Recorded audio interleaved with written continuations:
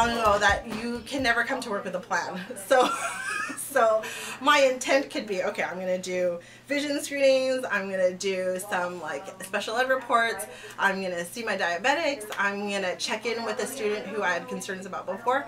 But one thing can happen and that goes all out the door. So, um, a typical day is pretty um, unpredictable. So sometimes we're here, we have to de-escalate situations Yes. sometimes. Yeah. Because some people, they freak, they can't handle the sight of blood and they will overreact.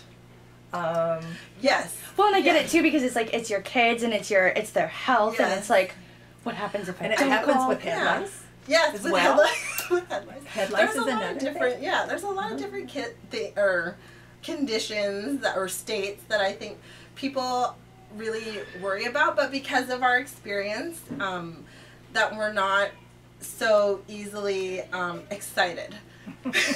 We work well together. Yeah, we do work well We're together. team. Yes, definitely a team. She's my eyes and ears when I can't be here. So I definitely rely on her skill and knowledge to get me through. Cheese is nothing. See, you're so good at knowing this stuff.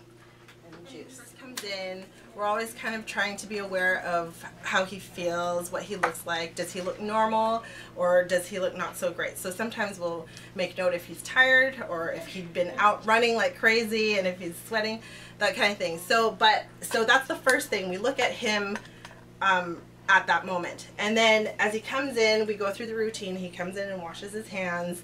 Uh, and then we'll go up into our med cabinet, get his um, actual blood glucose meter. Even though we have the continuous blood glucose meter, and with technology, it's not always the most accurate. So we always go back to old school ways and uh, test with the blood glucose meter.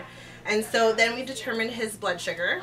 Okay, and so once we get his blood sugar reading, then we determine um, how much insulin he needs.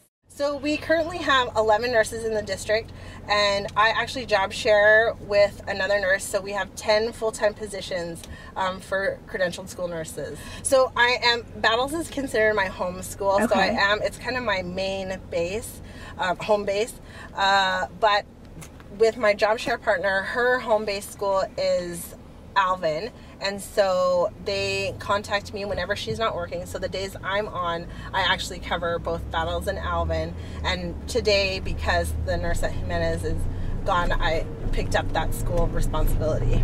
It's very common for us to be traveling between schools, sometimes even multiple times a day.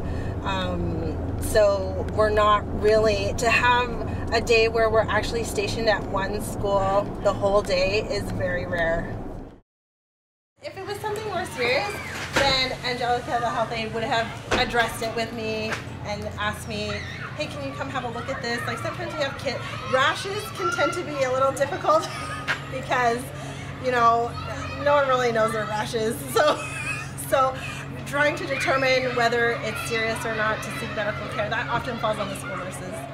When a student comes into the health office and I'm trying to determine how severe their initial complaint is, I'm also asking questions to determine if there's something else going on. Um, if they have bags under their eyes, I ask about their sleeping patterns.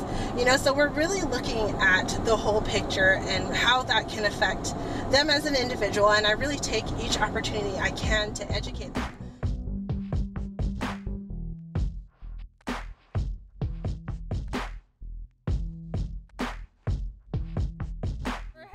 To the first grade classrooms. I'm going to do um, color vision screening, and it's a mandate. And so I do color vision screening on the, all the first grade boys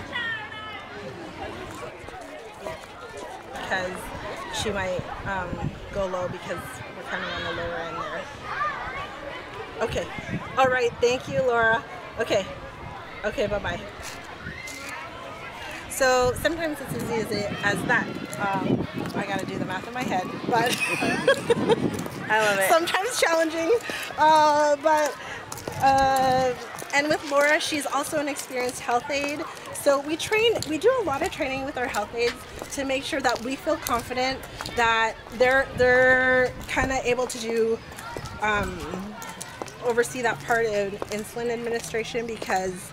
Uh, we do need to if we could be there doing it ourselves, we would. Sure. But because being at multiple school sites at the same time is just not feasible for us, we do rely on our health aides and making sure that they're really well trained so that we can make sure the insulin dose is correct. So what she's going to do is, I told her the insulin dose. She's going to make sure that that's what the student is administering to herself, and then um, send her on her way. And then I just asked her to do a follow-up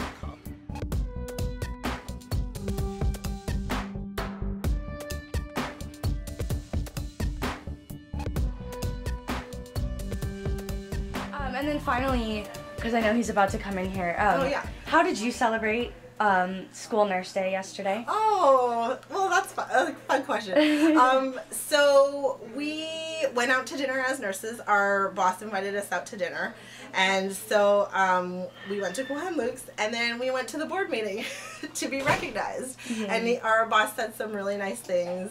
Uh, Dr. Zimmerman and um, really praised us for what we were doing in the schools and our role. And then the school board actually said some nice things as well. So it was really nice.